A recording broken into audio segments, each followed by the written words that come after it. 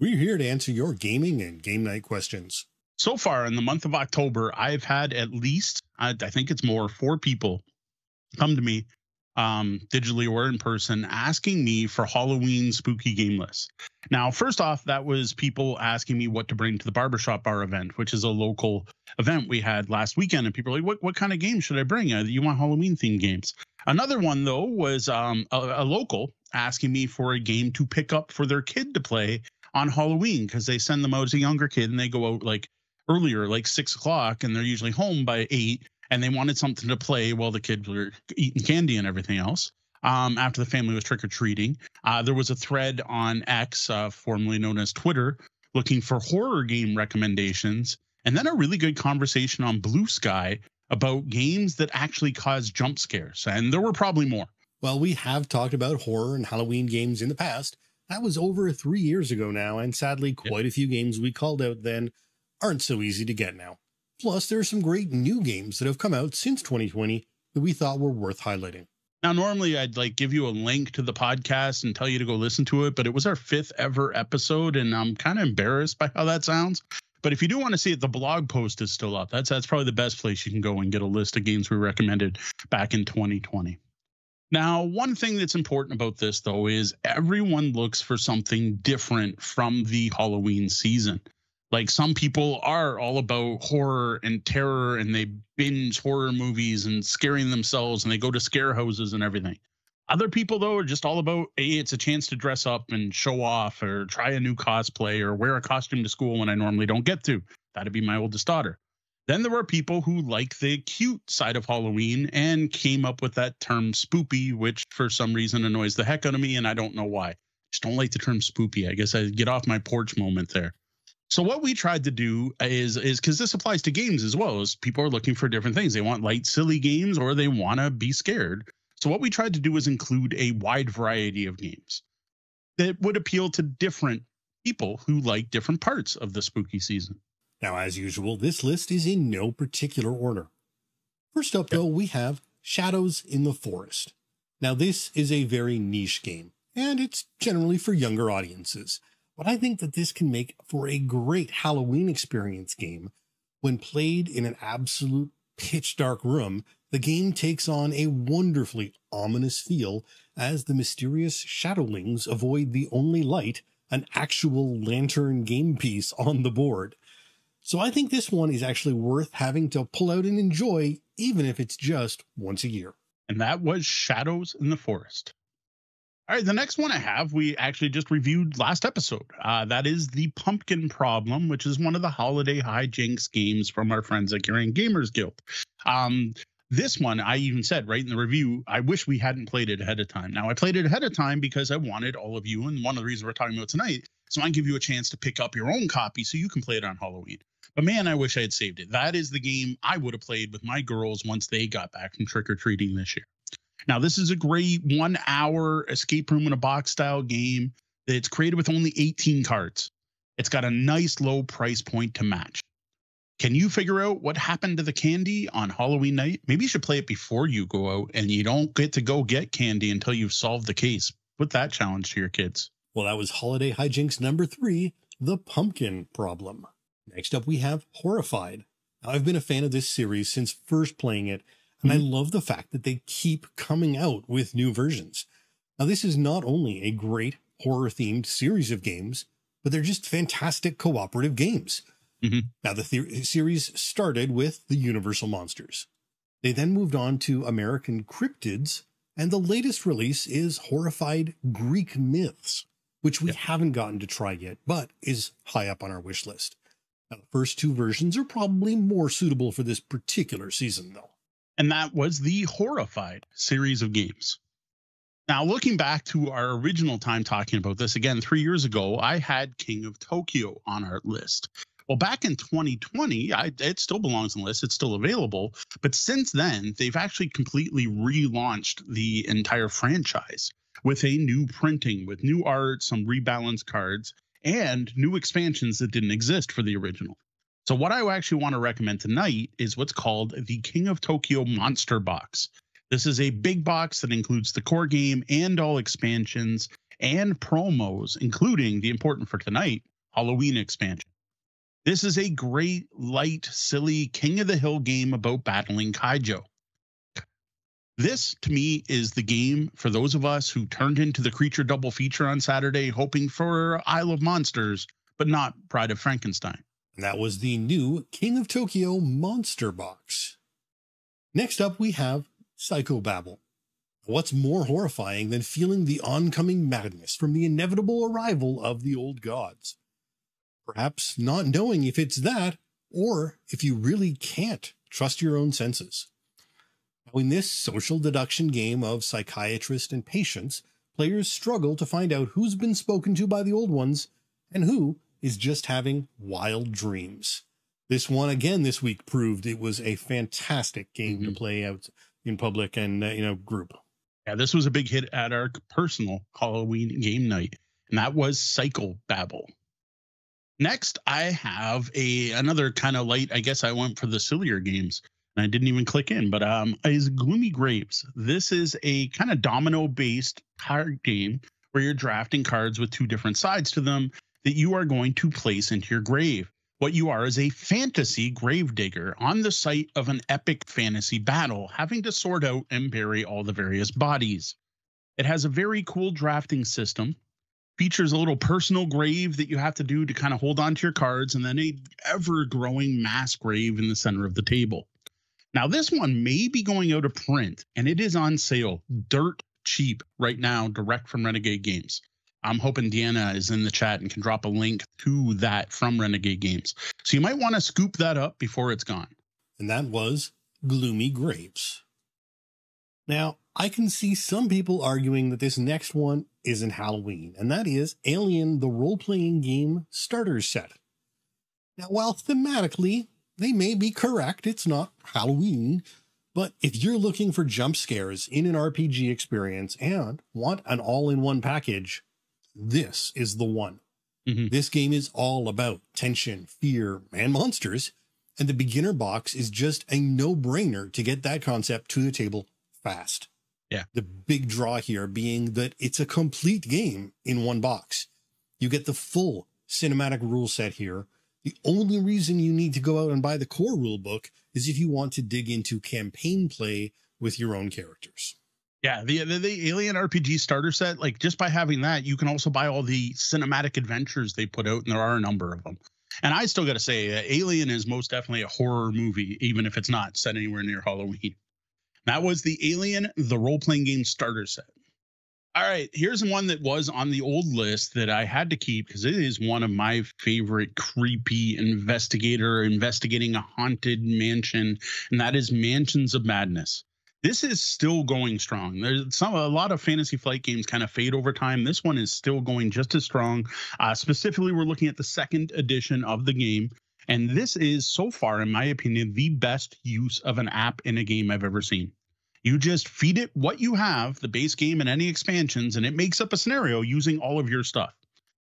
The app does a fantastic job of creating unease and mystery as it lets you explore the mansions on your own without putting the board out ahead of time, right? You get that fog of war. Heck, when you start most scenarios in that game, you don't even know what you're supposed to do. All it is is welcome to the mansion. Now figure out what the heck's going on. I really adore the feeling of exploration, suspension, tan, tan, tension. I can't say tension. There it is. Tension that you get from Mansions of Madness, technically second edition. And that was Mansions of Madness, second edition.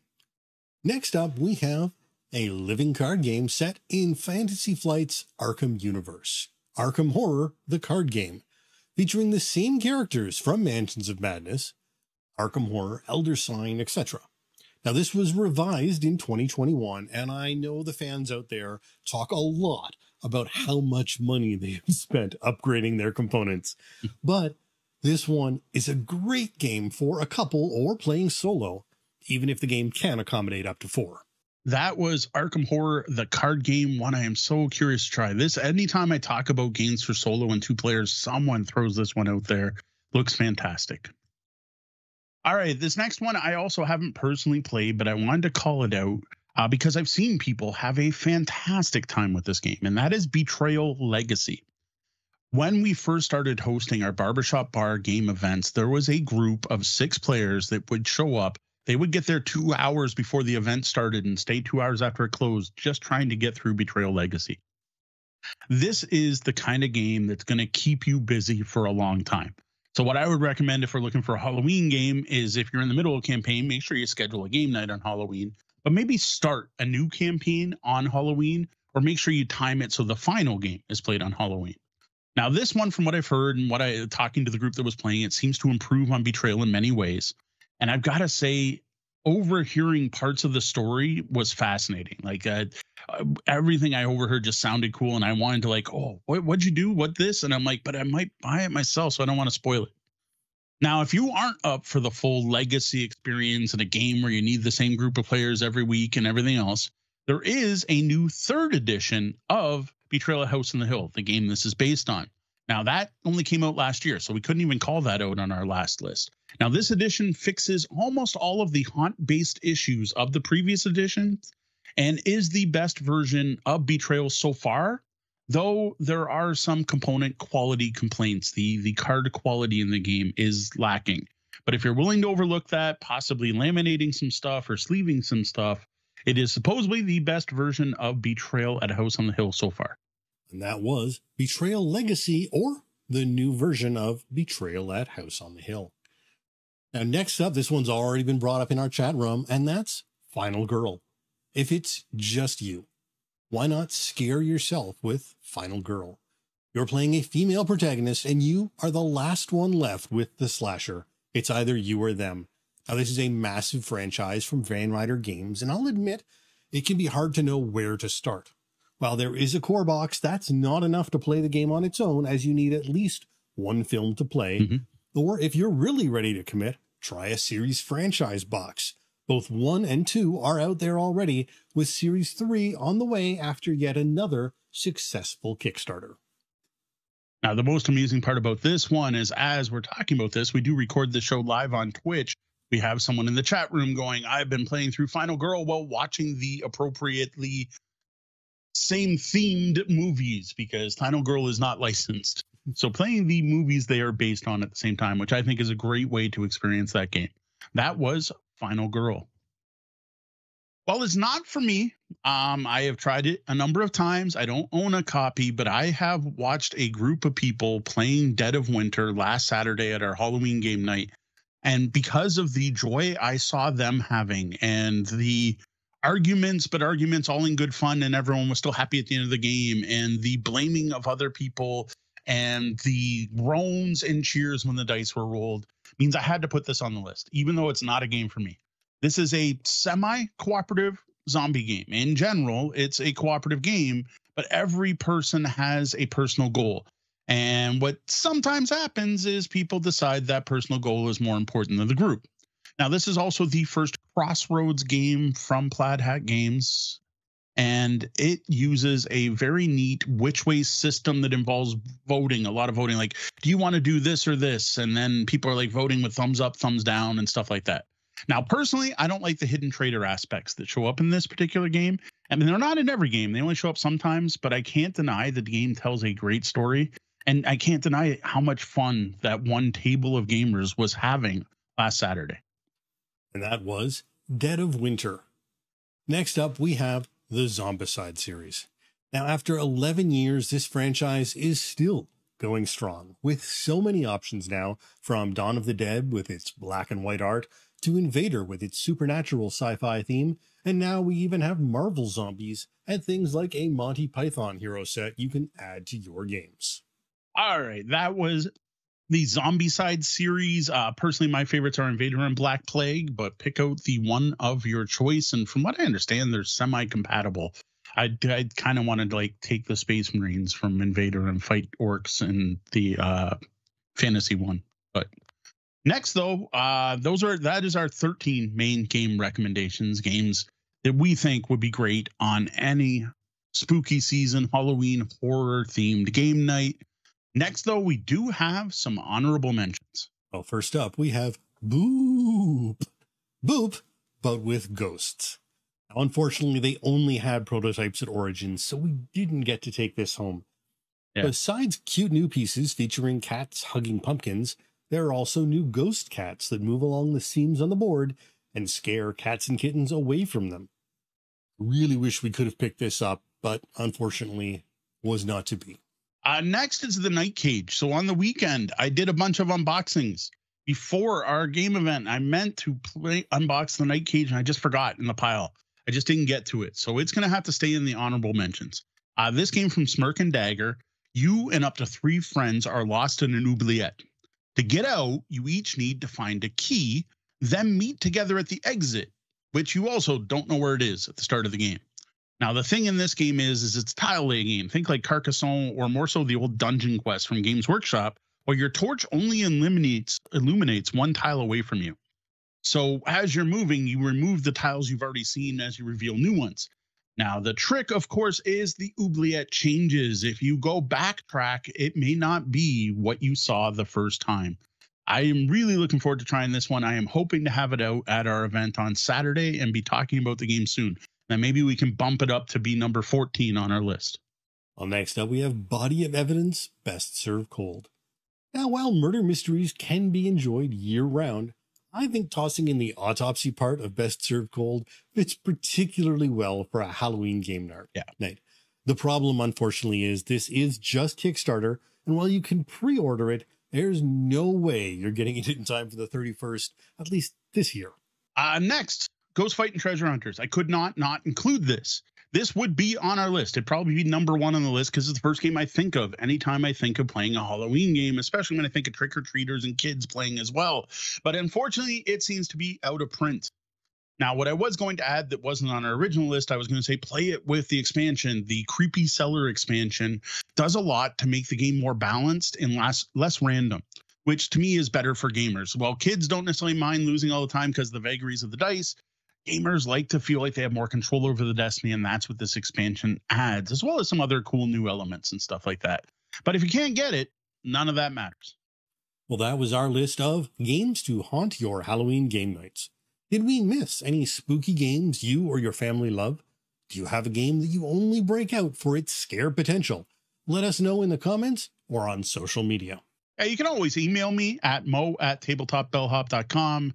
Hit us up on social media where we can be found everywhere as Tabletop Bellhop, one word, and that's pretty much everywhere. Or join our Discord at discord.com. Dot, sorry, discord.tabletopbellhop.com. All right. Well, there's a lot of chat in the chat room today. So I did jump into lobby instead of Yep. straight into our coffee break because we got so many people in here talking about Yeah, their, we gotta we gotta get these these games. recommendations from our awesome fans out there for uh the rest of our podcast listeners who weren't able to join us live. So we uh a bunch of complaints about spoopy. Nobody seems to like spoopy. No one Ah. likes the word spoopy. I I we have one good friend who loves spoopy and spoopy things. So There we go. Uh, so yeah, Will Chamberlain says, I've been playing Final Girl while watching the movies. Each set takes inspiration from. there you go. Inspiration from that's that's better wording than I Yeah. had. So far, they have played uh, the serial numbers filed off versions of Friday the 13th and Nightmare on Elm Street, but haven't Cool. Come close to winning. Uh, what else we got here? Uh, he has, uh, they have the entire first series and just picked up a couple from series two. Nice. So first series was good enough to uh reach go. out and try number two. I, I will admit, uh, like live right now, we have an opportunity to review these ourselves. I haven't said yes yet. Uh, solo games aren't really my thing, and I'm not a huge horror fan. I was trying to decide if it'd be worth it because our fans would be curious. Uh, Red So I got to say, I, I I know Wilt personally, and I agree with his game taste in most cases. So I got to say, they're probably really solid games. Uh, Red Meeple Ryan says, uh, is wondering, uh, not the Scooby Doo version of Betrayal? I have not played nor seen the Scooby Doo version, so I can't recommend it either way. I will say one thing: there's no buzz on that game at all. No one talks about that game, so I I don't know if it was terrible, if it was no one bought it. The only people bought it were Scooby Doo fans, not board gamers who are on like Board Game Geek and have podcasts. I, I couldn't, I can't recommend that one because I've never played it and I haven't even seen it recommended strongly. Uh, Mage Gale is saying, we got halfway through Legacy and kind of weren't feeling it anymore. Uh, the new version of Betrayal has some elements from Legacy. Oh, that's interesting to know. I heard this is the, the the latest version of Betrayal is the biggest divergence from the original, and I've heard it's great, but like people really complain about the component quality. Like it's got to be pretty bad. Uh, Red Meeple Ryan, shout out for Camp Macabre from a local designer. Okay, cool enough. I don't know that one, but we will toss a link in the show notes. Uh, and Major Kill is saying the spooky games in our collection are Arkham Horror, Betrayal, Betrayal, Third Edition, and Skeptics. The last is Okay. a co-op ghost hunting game where the ghost will show up, lock doors, and set fires. Okay, that sounds cool. Uh, Tech's daughters love Betrayal, Mysterium, Zombie Dice, and Haunt the House from KTBG. Yeah, kids table board games. That one looks good. Um, Betrayal, everyone loves. Mysterium, that was another one. I just, I think I played it with the wrong group. I don't know. That one never gripped me. Um, I saw Tech and one of his daughters playing Zombie Dice at our event. So yeah, that's a great one. There we go. Uh, was it? um, Major Kale is saying not a fan of the Dead of, uh, Dead of Winter unless you remove the traitor. The game is hard Yeah. enough without one. So Fair you enough. Uh, I would and- love to hear Will Chamberlain's uh, feel Undead of Winter because it was his copy that I played uh, originally, and at the time, I know he was a big fan. Uh, I wonder Mitch if that Gill again saying uh, Mysterium is great as long as the ghost understands their job running the game. Yeah, see, that's why I think I need to try it with another group. Fair enough. Uh, Roger says played Death Cthulhu Death May Die. It was a blast. That was on our list five It- years ago. Yeah, you know what? It- and it wasn't. It was fun. It just didn't live up to some of the promise that we were expecting from it. Uh, the whole, the you know, the, the lack of legacy and, and things that it just didn't deliver some things we were hoping for in that game. It felt like a series of miniature skirmish games, which is not what I wanted. I wanted a campaign. I wanted a, a, an evolving story. Uh, Eggman Jr. is pointing out something that I know is true. The patchwork Halloween is the most balanced in regards of tile costs of all the patchworks. I've heard Uh, that. Yes, that's that's that's that's a, a common. uh, Well, I guess I don't know if it's factual or not, but that is pretty much a common belief, at least, that the Patchwork Halloween is the one to go to. Uh, we've played that on the on the BGA version, not Yep. not physical. And I did like it better than the original. I did find I was uh, the games were closer. It was more enjoyable. Yeah. Uh, Red Meeple Ryan calls out Nyctophobia for a Halloween game. Totally Again, was on our list. Yeah, yep, that was on our original list, and On our list three years ago, but good luck finding a copy now. Yeah, unfortunately. Uh, for for nyctophobia, you know, the, the closest you can get is is the shadows sort of thing, you know, with that dark experience. Although that's still not giving you the same Yep. blind experience that you get from nyctophobia. And and to be fair, Nyctophobia, my copy got played on Saturday at our Halloween event, which was awesome. I got a great picture of everyone wearing the, the blackout shades, giving me the thumbs up. So so yeah, it was out, it got played. But again, I I doubled to this time. What we wanted to make sure we did with tonight's topic was talk about stuff people could get now. Which is why I thought it was worth revisiting the topic in the first place, because so much of what we recommended then isn't available now. Uh, Eggman Jr. is a big fan of third edition of Betrayal. Uh, he, given the he won the, the two games they played. Uh, and then uh, Tech's youngest daughter always seems to be great at being the ghost of Mysterium. Awesome. Yep. All right. Well, thanks to everyone in there.